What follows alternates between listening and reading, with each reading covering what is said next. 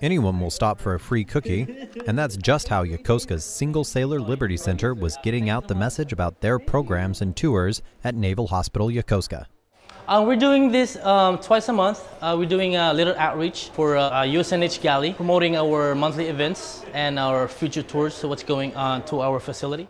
The Liberty Center offers single sailors and geo bachelors discounted tours and activities from MWR, outdoor recreation, and the Tickets and Tours office, saving sailors an average of more than 50%.